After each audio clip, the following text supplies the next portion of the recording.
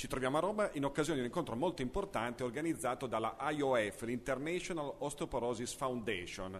Eh, l'occasione è la presentazione del rapporto SCOPE, un'indagine paneuropea sull'osteoporosis. Ne parliamo col professor John Kennis, una vera autorità in materia, e colui che ha messo a punto il FRAX, che è l'indicatore più utilizzato al mondo per stabilire la gravità e i fattori di rischio eh, di osteoporosi di una determinata persona. Professor Kennis, you are here to present SCOPE, this uh, multinational uh, analysis of osteoporosis. Which is exactly this project? In which it consists? Okay, SCOPE or the scorecard for osteoporosis is a multidimensional tool. Healthcare is very complex, and we need for each disease to see how one country performs compared to another country. So, what we've taken is several indicators of the performance for osteoporosis. What is the size of the problem? What is the lifetime risk? What is the policy framework? How do governments handle osteoporosis? What is the service provision? Are there enough equipment to diagnose osteoporosis? And what is the uptake of that service provision? How many women or men with osteoporosis actually get treatment? So we've devised 20 indicators looked at these in all the EU 27 countries and given and scored them. And we've scored the performance as red, orange, or green. Red for bad, orange for in between, and green for good. Which is in the, in the green area? Which are the nations in which osteoporosis is well treated? Well, for example, in Spain, the, uh, a lot of people at risk get treated. Spain has a relatively low fracture rate, so that's good.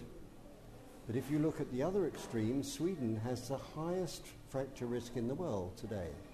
And the treatment gap in that country is very large. So it shows the inequities and imbalance of approaches to osteoporosis. More should be done in Sweden to try and catch up with Spain. And you have an idea of the reason of that? It's organizational or it depends from the weather because uh, Spain is a sunny state and is not the case for Sweden. Yes, we, we, we don't understand the differences in risk between countries. Part of it may be related to being in the north, having less sunlight, but that doesn't alter the fact that they have a problem. You can't move uh, all the Swedes to Spain. You have to tackle the problem in the country.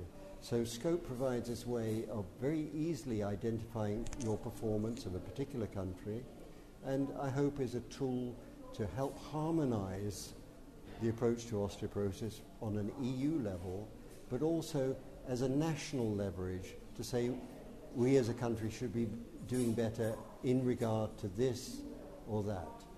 Um, a question regarding FRAX, uh, the algorithm you have invented. Which is the situation? It is used uh, all around the world, and you are, are you still developing it? In a, in a, are you still improving the Okay. indicator? Yeah, FRAX is a system for measuring, assessing fracture probability. What is the likelihood that you would sustain a fracture in the next 10 years?